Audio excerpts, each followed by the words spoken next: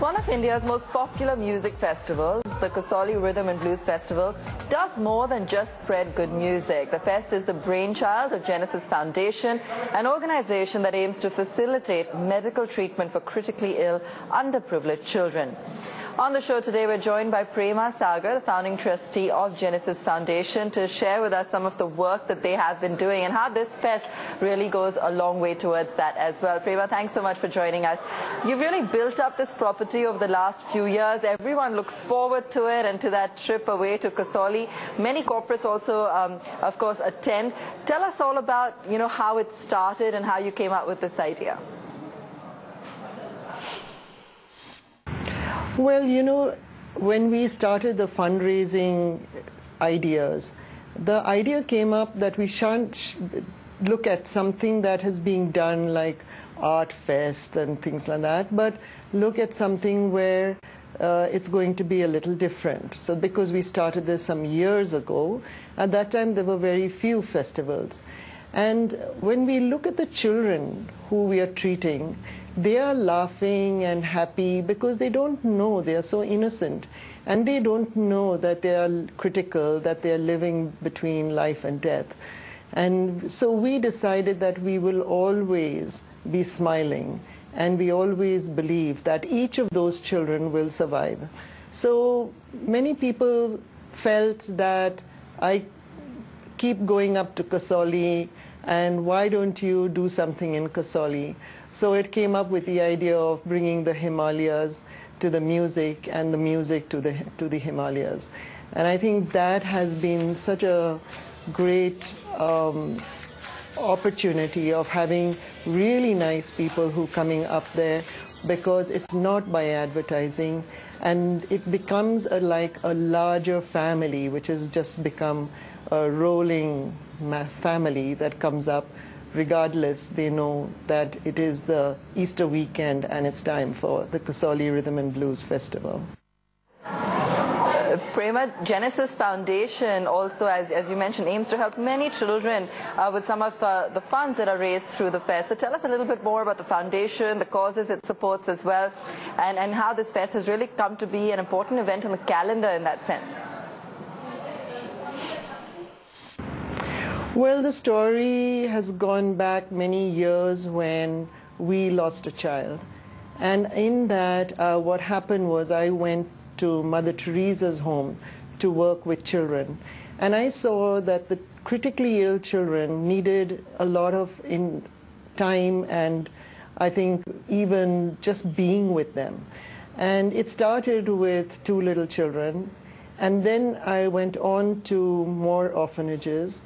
And then I realized that there were many more children when I was going to the hospitals, to AIIMS, to Gangaram, etc. I realized that there were so many, and the parents used to be just walking up and down in the hospital wondering where they're going to get the money from. So that's how it started. And uh, we did decide that we can't do anything and everything. So we focused on cancer, heart, thalassemia, and these are the three that we are going forward with because we are become so well connected and networked within doctors, hospitals, and institutions. And so we do want to work only in these three areas going forward. We used to do five. We are going forward with these three. Do you also feel that corporates now are more giving today than they were earlier? You've, you've had so many prominent attendees, uh, even celebrities. Uh, Dia Mirza, of course, a spokesperson there uh, for the event and for the foundation. Do you feel that people today are, are more eager uh, than ever before to do their bit?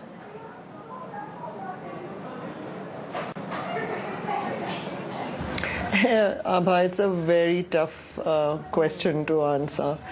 Um, over years, I would say things have definitely improved, whether it is volunteers or whether it is on giving.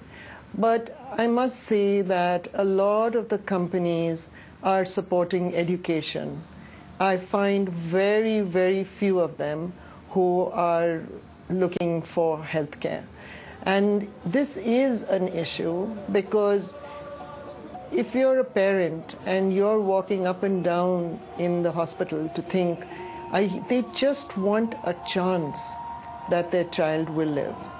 And so I do feel that a lot of people don't really understand what it means to lose a child and how little one can do and they can survive.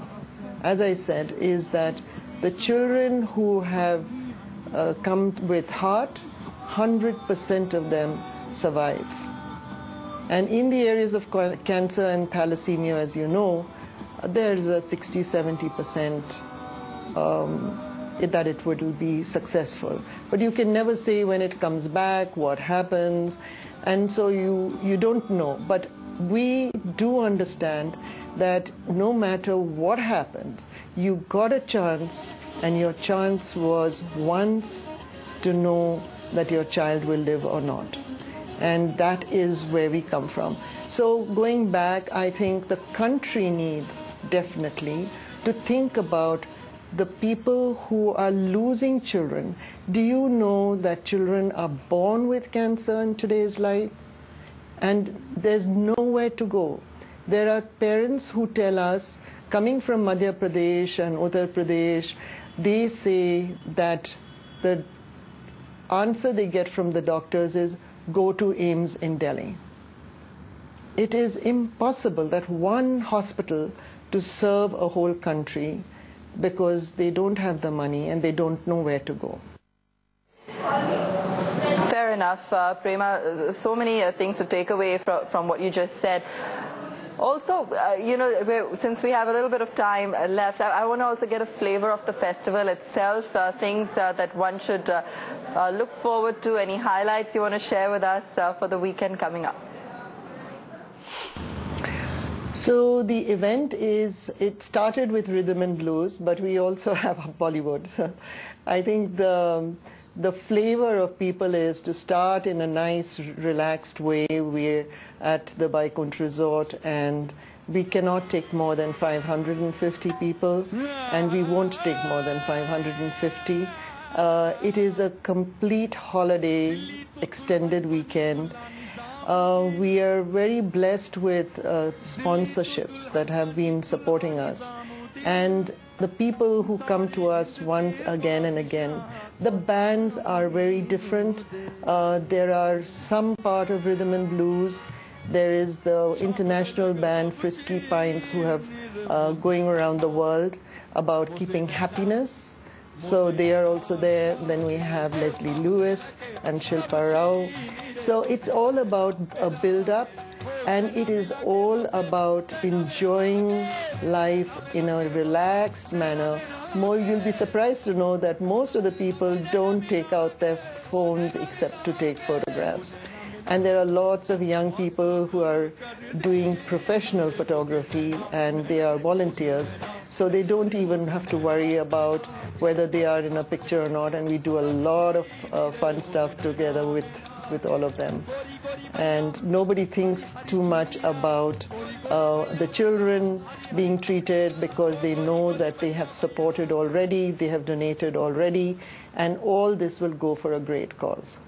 And I've seen some of those smiling uh, faces as well, uh, uh, and, and, the kind of impact uh, the fest makes, Prema. So, so definitely a lot of positivity that, that one can feel from the event. What, what's your favorite act? What are you looking forward to the most this year?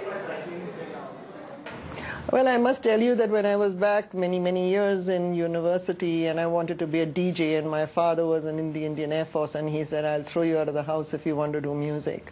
And I never got the chance to be a DJ. I never got a chance to do that. So I love all the music, whether it's classical, pop, whether it's rock, whether it's anything on music. I just love it. And I'm just so happy to have that opportunity to live it in this time. So we do this also in Goa. And we also do something called the CEO Sing. And they are just such fun. They were probably bathroom singers, actually, most of them. And today they sing on the stage. So uh, you can imagine what music means to me and to everybody who's become part of it. and it's become an extended family because everyone helps everyone. There are CEOs who uh, have become so, such good friends that they, uh, as I remember, Niren Chaudhary's daughter, the Niren from Yum Restaurants, his daughter was critically ill, and everybody, you know, sort of supported them, and they came together in whichever way they could.